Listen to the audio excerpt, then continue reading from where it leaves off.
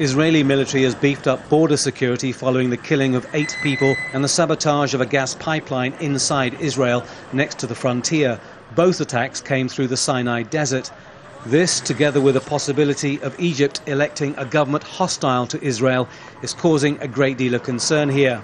It will make our, nightmares come true. We look upon Egypt and uh, we see, and as I uh, said, um, the possibility of a um, Islamic radicalism uh, leading Egypt into a, uh, kind of a Sharia state.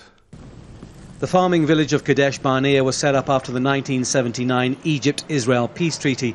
It is on the new front line of uncertainty along the same road where Israelis were killed in the cross-border incident. If peace with Egypt evaporates, the village could be at further risk. For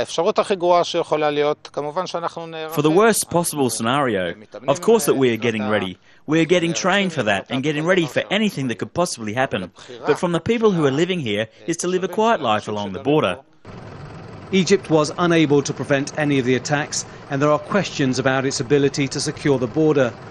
The closure of Israel's embassy in Cairo in September, following an attack by an angry mob, underlines the threat, and construction of a new wall along the Sinai is being speeded up.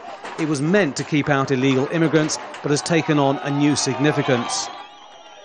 It's not just fears of attack from the Sinai that exist. In Israel, the fears are more widespread. They believe that as Egypt regains its prominence and its voice within the Middle East, then its views, its action, and its government can influence the entire Arab world. Egypt sneezes, goes the saying, and other Arab countries get a cold. Egypt was one of the few friends Israel had in the Middle East.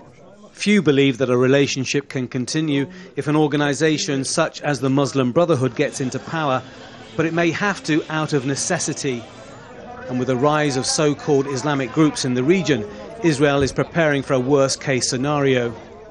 For a country that was used to handling dictatorship, Israel now finds itself having to deal with Arab democracy and its grassroots support, which is visibly anti Israel. From the desert to the cities, it's a challenge that will shape the future of the Middle East. Tony Birtley, Al Jazeera, Sinai.